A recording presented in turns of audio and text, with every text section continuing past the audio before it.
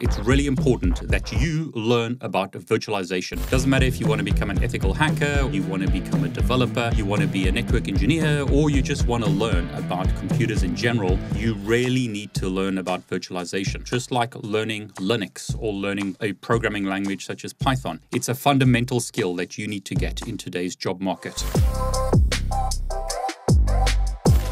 I want to thank Linode for sponsoring this video. Have a look at the timestamps if you want to jump to a specific part of this video. I'm covering things such as type 1 hypervisors, type 2 hypervisors. I'm showing you how to run networking devices on your computer. Now let's compare what it used to be like versus what it's like today before virtualization was developed. In this example, I've got a Linux laptop running Ubuntu installed directly on the hardware. In other words, it's a bare metal installation. Here I've got a Windows 11 laptop, and over here I've got a Windows 98 laptop.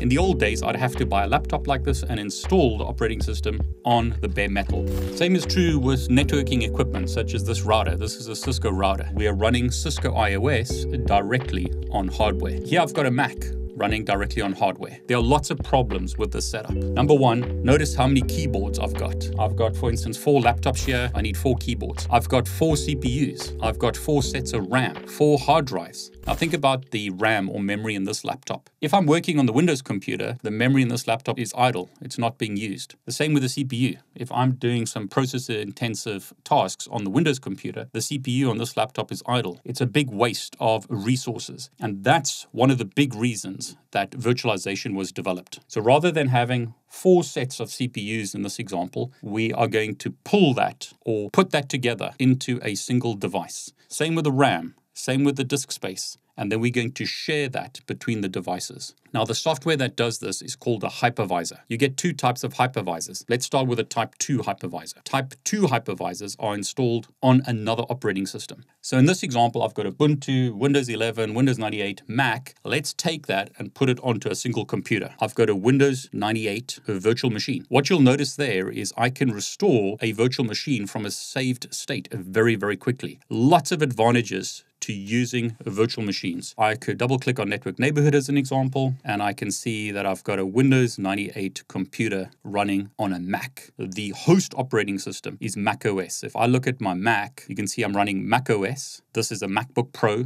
It's got this processor, Intel Core i9, 32 gig of RAM. And what's happening is the host operating system, in this case Mac OS, is sharing resources with the Windows 98 computer. Now, Windows 98 doesn't realize that it's running within a virtual machine machine. It thinks it's running directly on bare metal or directly on hardware. I'm in a virtual machine. Actually, on a Mac the Mac is giving resources to the Windows 98 computer. Under processors and memory, you can see 256 meg, not gig, meg of RAM was allocated to this Windows 98 computer, and one processor was allocated. One of the great things about virtualization is if I want to spin up another virtual machine, rather than buying a PC and waiting for that PC to be shipped to me, I can simply boot up a new instance of that virtual machine. I've got two Windows 98 computers running directly on my Mac. But as they say, there's more. Here I've got Windows 11. One of the things you can do in virtualization is you can save the RAM to the hard drive of your host operating system. In other words, my Mac simply has this device's state stored on the hard drive, and I can simply resume that. You could, as an example, shut down the virtual machine. You could restart it, but suspending just basically saves the state to the hard drive and allows me very, very quickly to bring the virtual machine back again. So, as an example, I could start Brave here and I could go to a website. Now, this virtual machine is using more RAM and more CPU than the Windows 98 computers. Over 8 gig of RAM is being used on this virtual machine. Four processor cores are being used versus the small amount used by the Windows 98 computer. My Mac is also using memory and CPU to run itself. So basically, we are sharing resources between all of these devices. These virtual machines are isolated from each other. We can connect them to each other by, for instance, sharing them with my Mac. On Windows, you'll see this as NAT, Network Address Translation. I could connect it directly to, say, my local area network. In this case, I've turned off my Wi Fi. My Wi Fi is not connected. I'm connecting directly to an Ethernet adapter on this device. It's got an IP address 192.168.1 171. If I open up a command prompt on Workstation Player or on VirtualBox, and we'll talk about the different hypervisors in a moment, you'll often see that called bridged interfaces. Notice in this case, IP address allocated to this device is 192.168.160. From my Mac, as an example, I could open up a terminal and I should be able to ping that IP address, assuming that the firewall is turned off. I'll go into Control Panel, Network and Internet, Network and Sharing Center, and I'll turn off the firewall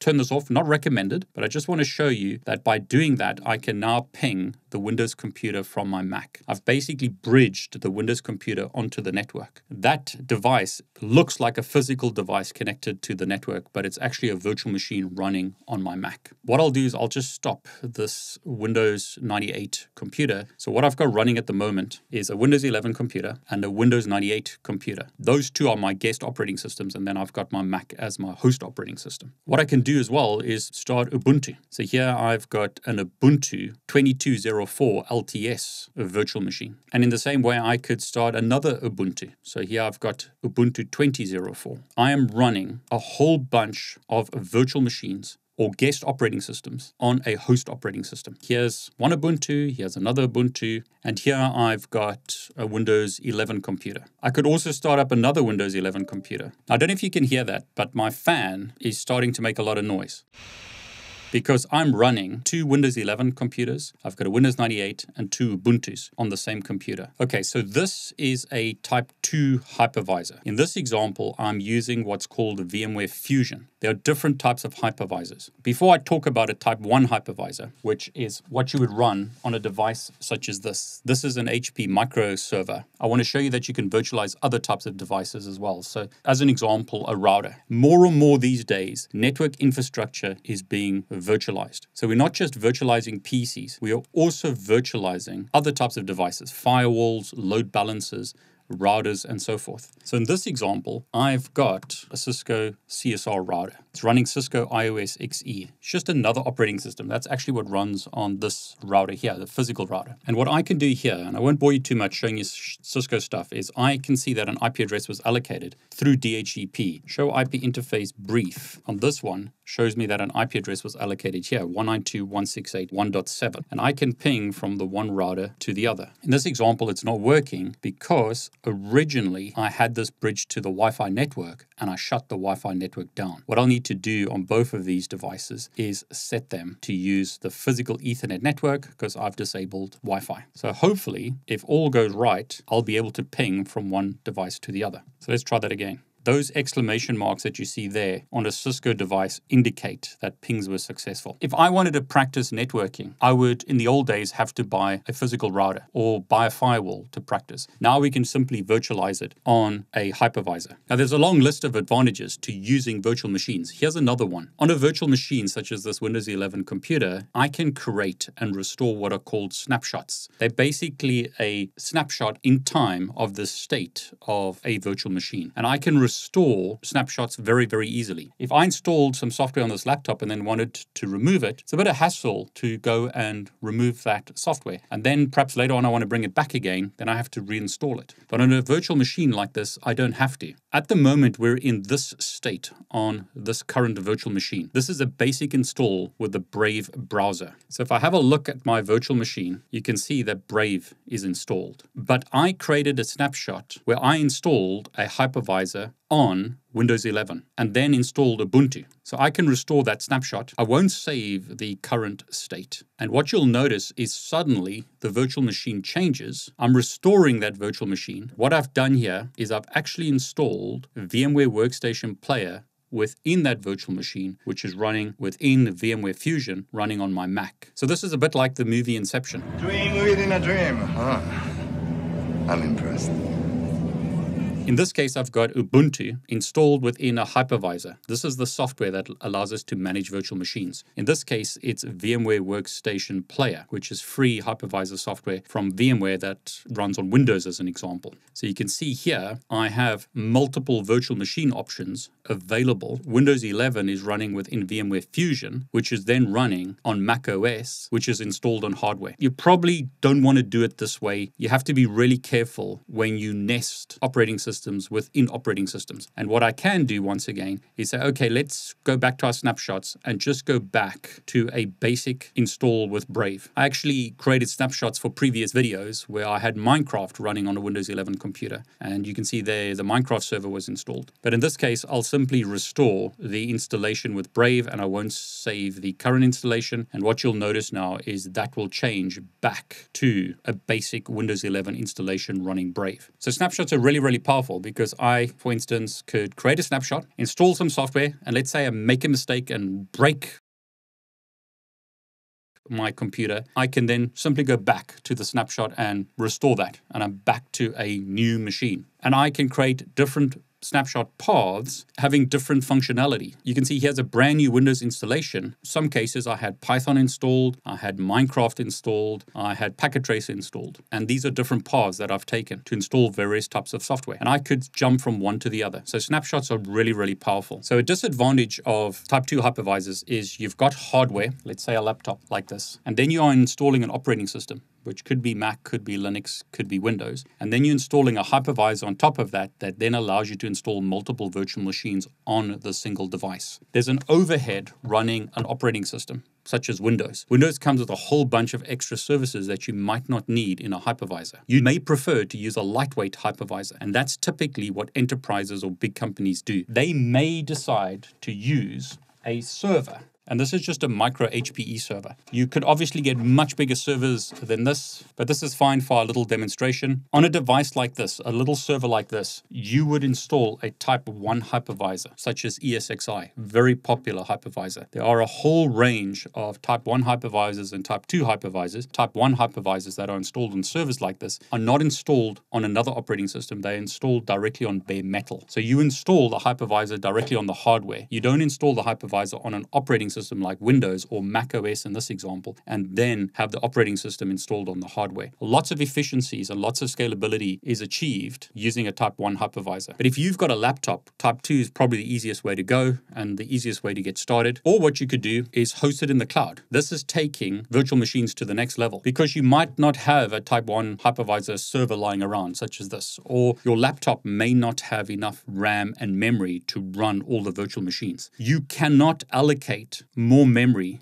than your device has in it, or more CPU than it has in it. This laptop has a lot of RAM, so that allows me to run a whole bunch of virtual machines at the same time. But if your laptop has only got, for instance, 2 gig of RAM or 4 gig of RAM, you're not going to be able to run a lot of virtual machines. I, as an example, could run Kali Linux here, and then I could run other virtual machines on this laptop because I have enough CPU and memory. But your laptop may not have that. So one of the options is to run stuff in the cloud. Linode, who I want to thank for sponsoring this video once again, are a great cloud provider. I really like what they do because it's very, very easy to spin up a Linode server or virtual machine. You can use the link below to get a $100 60-day credit if you want to set up your own virtual machine in the cloud. To set this up is extremely easy. I click Create Linode. I specify which operating system I want to use. So let's go for Ubuntu 2004 LTS. I have shown you in previous videos, which I'll link below, how to set up Kali Linux in the cloud. Which region do I want to set it up in? So I could run a virtual machine in the States, or I could run it in Germany. In my example, I'll just run it in London. Typically, you want to run it close to where you are. You can go for a dedicated CPU or shared CPU. Remember, on my Mac, I'm sharing the CPU with a bunch of other virtual machines. This tends to be the cheapest way to do it, so that's what I'm going to do here for this demonstration. I can give these server names such as Ubuntu one. I can give it a password. I can specify other options such as VLANs, other information, but I'm not going to do that. I'm simply going to click create. That's all you have to do to set up a virtual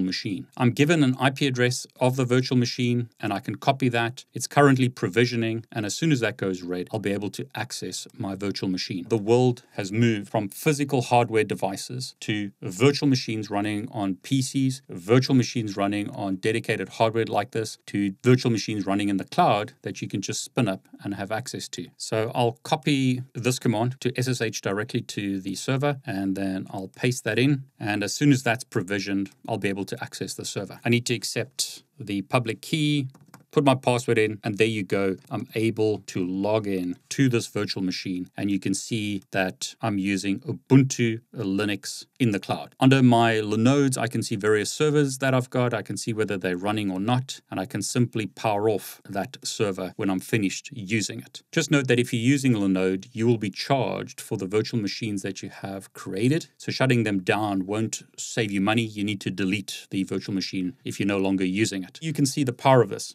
physical machines to virtual machines on hardware that we own to virtual machines in the cloud. Let's take it a bit further, specifically looking at networking equipment where you're not just virtualizing PCs, but you're virtualizing entire infrastructures. Cisco have created a product called CML. There are others out there like GNS3 or EVE-NG. They allow you to build topologies on your computer, and they also allow you to run software from different architectures. Not all software can run on all devices, but QEMU, which is another type of virtualization platform, will allow you, for example, to run Cisco IOS devices on an Intel computer or run Intel images on an M1 or M2 CPU. A lot of hypervisors will not allow you to do that. You would have to run an ARM image, as an example, on an M1. So you can't run Windows Intel Intel architectures on an Apple M1. But with QEMU, you can do interesting things like that. In this example, I'll click Add to create a new topology. And what I can do here is take various types of devices. There's a CSR, which is the one that I showed you earlier. But what I'll do here is drag an IOS V router into the topology, and I'll drag a server into the topology. And what you can do with these kind of technologies is connect devices to each other virtually. So rather than creating a physical infrastructure or lab, you can build a whole virtual topology on your computer. And you can build really complicated topologies with software such as this. So as an example, I can open up a console on my server and I can log in with my username and password. And if I type uname-a, you can see that this is running TinyCore Linux. I can build entire architectures on my laptop. What this is doing is taking software that runs on different architectures like a Cisco router and virtualizing it on an Intel processor. In this example, it's running CentOS. I could run Aruba, I could run Juniper, I could run Arista, I can run a whole bunch of networking devices. Okay, so now let's talk about which hypervisors I recommend that you use. If you're on Windows, two good options are VirtualBox, which is free. That's probably the one I'd recommend that you get if you're just starting out. Very useful, supports snapshots, supports a whole bunch of options you can copy from your virtual machine to your physical device and so forth. One of the things you're going to want to do is copy text from one operating system to another. So let's say text on Mac, and I'll make that a bit bigger. I can copy that, and then here I'll start Notepad, and I can paste that in. Or I can take text on Windows, copy that, and then go onto my Mac and paste it on. VirtualBox supports all that type of functionality for free on a Windows computer. So if you're starting out, I would get a VirtualBox. You can find it by going to virtualbox.org and then you can download it. I'll link a video that I created previously below where I show you how to set this up and I'll also create updated videos showing you some of the functionality available with VirtualBox. Another option is to use VMware Workstation Player, which is free, but VMware have kind of crippled it. It doesn't have as much functionality, but if you can pay for it, VMware Workstation Pro is better. I find that VMware works works better when you're doing what's called nested virtualization, where you are putting operating systems within operating systems and you need those operating systems to have access to the CPU. So if you're running CML or GNS3 or you're doing stuff where you're running operating systems like Cisco or Aruba within QEMU, which is running within a hypervisor, then I found that generally Workstation Player or Pro from VMware is better. But if you just want to start out, and you're learning about virtual machines, then get VirtualBox. On a Mac, it gets a bit more complicated. You can run VirtualBox, but I found that people have optimization issues with that. So I've generally had better results with VMware Fusion. VMware Fusion is also free on a Mac. So if you've got a Mac, and this is where the lines blur now, if you've got a Mac that's Intel, VMware Fusion is fine. But if you've got a Mac M1 or M2, you probably want to get Parallels. The problem with Parallels is it's paid for software, but it's the best at the moment. If you want free software, you can look at UTM. A lot of people have found that UTM works okay. It's not as good as Parallels. VMware have released their VMware Fusion 22H2 Tech preview. So you can download this for free, but it's preview software. It may not be perfect. If you're really into virtualization, you may prefer to get a server like this or a big, much bigger server and then run ESXi. What are your thoughts? What do you think? Have I missed anything in this discussion about virtualization? I, in the past, have always preferred VMware, but I found that VMware not always the best these days. So VirtualBox may be a better option, especially if you're starting out. What do you think? Let me know in the comments. I'm David Bombal, and I want to wish you all the very best.